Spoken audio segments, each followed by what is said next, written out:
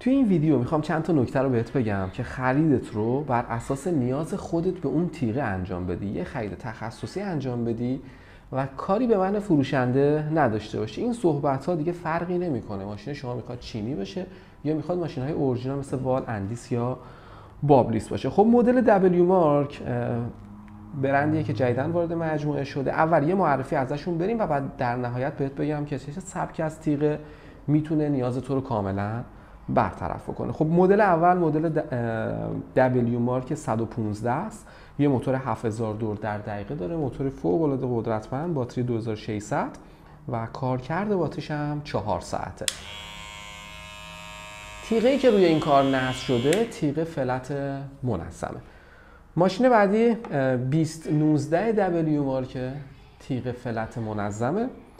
و از لحاظ برش یه فید کاملا تر و تمیز و یک دست بهت میده. مخصوصا تو سالن های زنونه اگر می‌خوان کار کوتاهی فلت انجام بدن ماشین هایی رو انتخاب بکنن که تیغه اونها فلت منظمه. یه موتور 6000 دور در دقیقه داره باتری 2500 میلی آمپره. کارکردش هم 240 دقیقه بهت کارکرد باتری میده. ماشین بعدی W مارک کد 107 یه تیغه تیپر داره موتور 6500 یه باتری 2600 میلی آمپر بدن کاملا شفافه و شیشه ایه 240 دقیقه بهت کارکرد باتری میده اما ماشین بعدی کد 103 یه تیغه فلت نامنظم داره از لحاظ برش شبیه به مجیک کورلس عمل می‌کنه. ما نمی‌خوایم مقایسه بکنیم. شبیه به مجیک کورلس عمل می‌کنه. اگر توانایی خرید مجیک کورلس رو نداری و دنبال یه تیغه فلت نامنظم هستی این مدل دبلیو مارک می‌تونه بهت خیلی کمک بکنه. پس تیغش فلت نامنظمه موتور 6500 دور در دقیقه باتری 2500 میلی آمپر. 270 دقیقه بهت کار کرده باتری میده.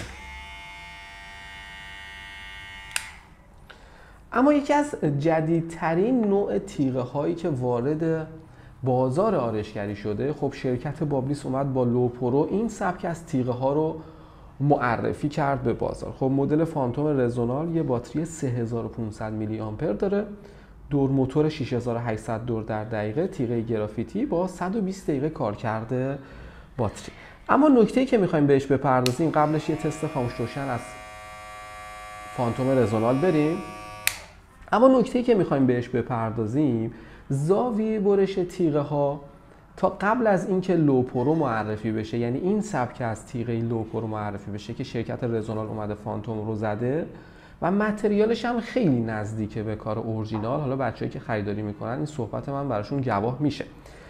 اما تیغه ها تا قبل از اینکه این سبک از تیغه ها بیاد توی دو درجه زاویه برش قرار می گرفتن آناتومی سر انسان بهترین عملکردش تو زاویه 45 درجه است. به خاطر همینه که ما به آرشگران میگیم آقا یا اساتید بزرگ کشور به آرشگر میگن آقا زمانی که می‌خوای روی پوست کار بکنی اگر کنترل فشار دست نداری زاویه تیغه تیپر بهترین عملکرد رو توی تمام زوایای سر مشتری داره.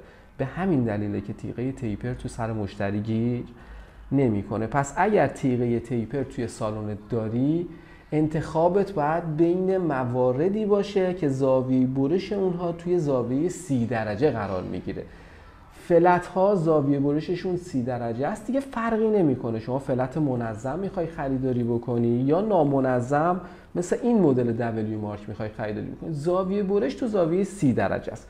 پس بهترین مکمل برای تیغه های تیپر ماشین های flat هستن. حالا انتخاب نامنظم یا منظم بودنش به خود آرایشگر بستگی داره. اگر یه fade شفاف و یک دست یک برش تر و تمیزتر می‌خوای خب ماشین هایی که flat منظم هستن بیشتر می‌تونه بهت کمک بکنه. اگر می‌خوای کار سرعتی تری رو انجام بدی و کمتر با اصول fade و line های fade آشنایی داری برش نامنظم به این دلیلی که یه برش کدر بهت میده خطای اشتباهت رو کمتر نمایش میده به تو اعتماد به نفس بیشتری توی کار میده و می‌تونی سرعتی تر حتی کار بکنی. برای خیلی از آرایشگرهایی که سابقه کاری دارن و اصول فید رو کاملا می‌شناسن این تیغه می‌تونه مشتریش رو خیلی سریعتر کار رو واسش انجام بده. تو زمانی که حالا سالن خیلی شلوغه فید نامنظمه بیشتر می‌تونه بهت کمک بکنه. پس ماشین ها مکمل هم دیگه هستن. زاویه برش فلت ها توی 30 درجه تیپر ها توی زاویه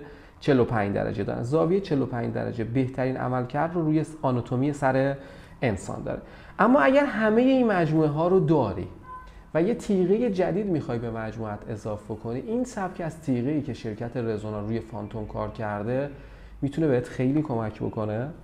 و یه زاویه برش تقریبا ما بین تیپر و فلت رو بهت میده به خاطر این شیارهایی که پشت کار کار شده و زاویه برش متفاوتی که داره کمتر درگیر پوست میشه تیغه و اون فرو رفتگی تیغه توی پوست رو شما کمتر داری. الان مقایسش هم بخوای بکنی مشخصه که یه زاویه برش کاملا متفاوتی رو داره نسبت به تیغه های تیپر و فلت بهت میده. پس دستتو تو لاین های اصلاح کاملا بازتر می‌کنه. اگر مجموعه ماشین اصلاحات کامله به شدت این تیغه رو بهت پیشنهاد می‌کنم. امیدوارم که از این ویدیو استفاده کرده باشی و بتونی توی انتخابت انتخاب حرفه‌ای تری داشته باشی.